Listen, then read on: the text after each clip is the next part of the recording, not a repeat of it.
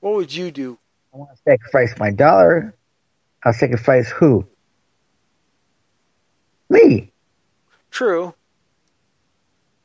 And I, I, I had done that many times before, put my life in danger for other Oh, people. yeah. Oh, I know. But what I'm saying is that you wouldn't do that, but God gave his only son, not just a son, but his only son, the only one that he had gave him up and sacrificed his son because he loves us. And not that he just loves us as a friend, but he loves us so much, the Bible says, that we are called the bride of Christ, Steve. Remember that? Man, We are the And what bride else? of Christ. what else the guy gave you? Eternal life. Man, okay, what else? But he gave you something, freedom. right? What? Go ahead. He gave Steve. what? The God the Father, which is God. He gave God the Son, which is Jesus Christ. The Holy And he Spirit. gave you something very, very important. The Holy Spirit. Yeah, plus he gave you what? Free will So he to worship took- you. Go ahead. Yeah, well, like, yeah, he said he gave you free will, you know. So God wants ahead. love unconditionally. right. So he gave Jesus, but then he he took Jesus, but he gave us something in return. Jesus himself gave us the Holy Spirit. And now let me ask you a question: Could the Holy Spirit be the Spirit of Jesus with us, incarnate? Yeah. Yep. So physically he's not here, but the Holy Spirit is Jesus is Jesus' spirit incarnate. So he not only took Jesus, but he left with us the Comforter, the Holy Spirit, who technically by the Trinity is God the Father, God the Son, and God the Holy Spirit. The Holy Spirit is Father and Jesus all in one. Right. See, it's Son. not it's not three different people. It's one person, three different identities. It's like for me, Amen. it's like for for you, Steve. Well, for me, you can call me Drew. You can call me Andrew. You can call me Andy. Those are three different identities of names, but they all mean one specific person, Andrew. You could have the angel God, which is Jesus, come down on this earth. But he's in spirit, Right. you know? And here's how. And uh go ahead. I'll let you finish. Go ahead.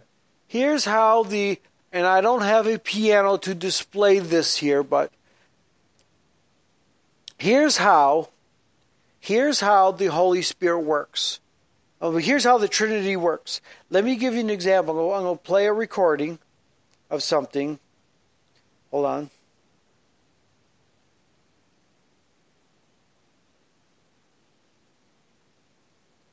And this is how the Holy Spirit works. This is how the Trinity works. Why is my phone acting funny? I'm trying to get to YouTube for a second to, dis- to demonstrate this.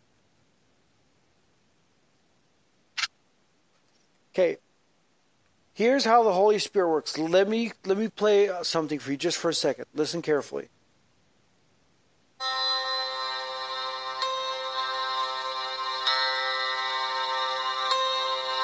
Okay, you heard that? Yes. Let me do another sound effect here. And I'm gonna, I'm gonna give everyone a uh, I'm gonna give everyone a piano lesson while we're at it too. Here's another one. Oops, I gotta turn that off for just a second so I can. I don't want to get nothing recorded on here that's not of the show. No, I can't do that one. That's that's that's. uh But you heard the Bring first one. You guys heard the first one, and let's see if I can get this one to play something. Here's.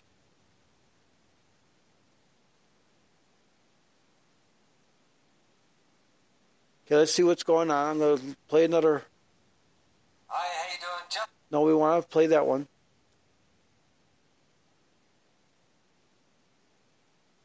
Let's just play again something real quick.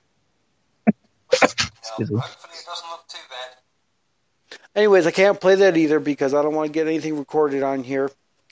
But now that was the key of C for any musician out there who knows what. Uh, hold on. Sorry, guys.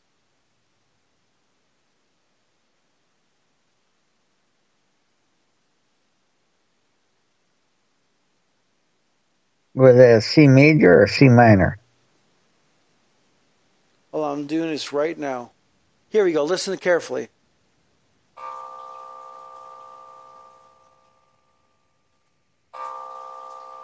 That is the key of C, okay? And then and on any set of staff musical notes, there has to be a character of three different notes that make up a chord, okay? Now, this is how I explained to people at Liberties a while back ago, Steve, about the key of C, about the actual Trinity. Okay? So the key of C is comprised of, of three different notes C, E, and G. No matter where you see it at, it's always going to be C, E, and G. Now there's there's different variations like E, G, C, and G, C, E, and there's all kinds of different ones, but all those represent all those represent. so the what is hold on for a second. what is Steve. it? C, C, right? Yeah, hold on just for a second. All those represent the C chords, C, E, and G. Now, if I take away that C and play E and the G, is that a chord now, or is that something different? No. It's something different. It becomes a harmonic interval, which means two notes instead of one. And if you take away the E and just play the G, then now you've only got a note. So what that means is in order for a chord to work properly to be an actual chord, you have to have all C, E, and G notes to play a chord. It's just like in the Trinity. You have the Father, Right. the Son, and the Holy Spirit. You can't take out the Father and the Trinity still work because the Trinity will not work if you take any of those three out of there. The Trinity will no longer work. See what I'm saying? It'll no longer Right. be the Like Trinity. uh, so you have the to have. CEG, Go ahead. CEG is Christ, Emmanuel, and God. Hey, I like that one. Christ, Emmanuel, and God. Good. But you have to have all three of those identities in one to make the chord C, to make the Trinity actually work. Because if you take, if you, then this is what Albert Einstein said finally on his deathbed, because he was speaking about this theory of relativity, and he, and he and he claimed in his searches that it will never work. You can never get the theory of relativity to work; it'll always stay a theory. And what he said on his deathbed surprised, shocked me to bits. He go, he was just at his last bit of breath. And he goes, he goes, I found the answer. And he holds up his theory of relativity. He says, I found the answer. And he died saying this last words, but he says the answer to make the theory of relativity work is God. He said the answer to that problem is God. He says nothing under the sun can work unless God is present. Therefore, Right. you got to have God, Son, and Holy Spirit to make the Trinity work. The Trinity will not work if all three of those identities are not present. It's just like the C chord. You can't have a C chord unless the C, E, and G are all present in the chord at once. Because then if you if you take go ahead. Could you go like? Let's go back. I'm gonna go. Uh, if you go to heaven, back in the Old Testament. Well, I guess Grant. If you believe in God, you go to heaven. Yes. Okay, and why do you? Even the Old Testament and New, why would you go to heaven? Because of what? Because of your faith. Three ident- three identities of God. right, the three you say. identities of God. The Father, the Son, the Holy Spirit. Right. So what happens is you believe in God in the Old Testament, but you, like God said, if you deny one of them in the New, You denied them all. You know, You, still- denied them all. you deny, yeah, because you deny Jesus Christ as Lord and Savior. Because you can't you can't take deny me, Right. then that you deny me. Right. you can't take Father God out of the out of the equation of the Trinity Because if you take Father God out of there, you've taken them all out of there. Those three identities have to be there for it to be to for it to work in your life. You can't just take one. Well, I, I don't believe in like uh, there are some Baptists out there who don't believe in the Holy Spirit. You ever notice that? Right. Some of them do not out there. Well, you can't just take the Holy Spirit out and expect Father God and Jesus to work for you. No. It's just like Catholics don't believe in the Holy Spirit either. They do to a degree, but they don't they don't believe in the Holy Spirit like we do. Well, They believe- preach a little. Go ahead. They don't. What they what some of the Catholics don't believe some, is that the old like the the prophets of the old died, and there's nothing in, nothing new of the prophets. Right. But They- yet God spoke. God Right. spoke. Jesus Christ spoke before he went to heaven. He should And- prophesied in my name. Right. And they believe also that the uh, the Holy Spirit, the Comforter, was just sent as a comforter back then, and he's not here anymore, type of deal. And don't get me wrong, I love Catholics to death, Steve. Some of my good friends are Catholic people, and there are some saved, sanctified Catholics who who are now what I would call a Pentecostal Catholic or a born again Catholic.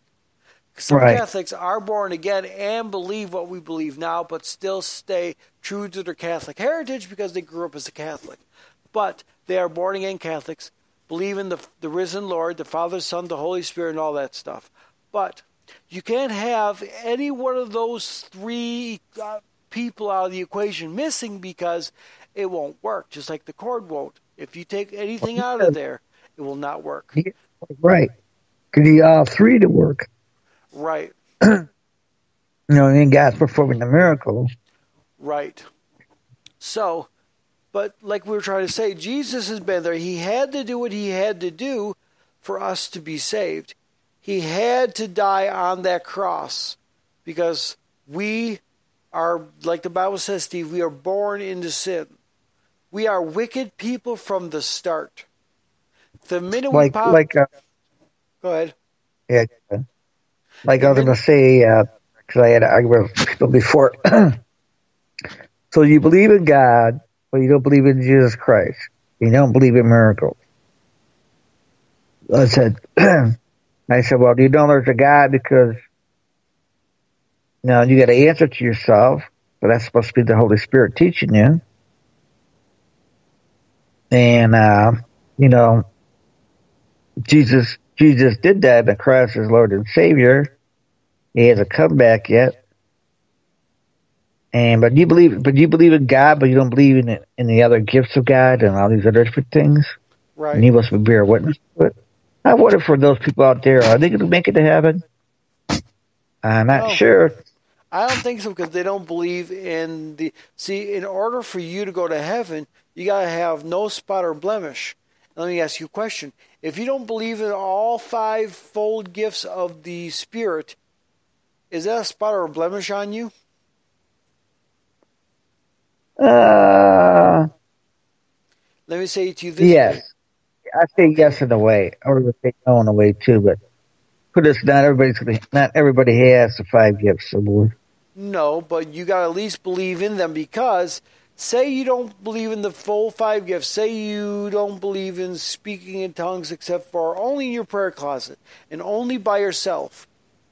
Well, what if God wants you to speak in tongues? Say, say you're in your car and God wants you to speak in, or say you're at a say you're at the grocery store and God wants you to speak in tongues right then and there, or at church.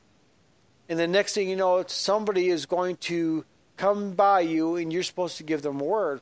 But just say you don't believe in speaking in tongues, only your prayer closet, and you say, well, that's not meant for right now. That's meant for my prayer closet. So I rebuke that. I cast it to my prayer closet, and then we'll be doing that in my prayer closet. So now that you didn't speak in tongues, have you missed the opportunity to speak a word that somebody needed from God? Yes. So is that a spot or a blemish then? Because you're not doing what God wanted you to do in the first place? Right. It doesn't mean you're not going to go to heaven either. No. Just But, but you're disobeying God. Yeah, no, you're disobeying God is what you're doing technically. Well, people are trained trained to believe one thing or another thing. You know. Yeah, I know. Yeah, I understand. Uh, I, I used to have arguments about this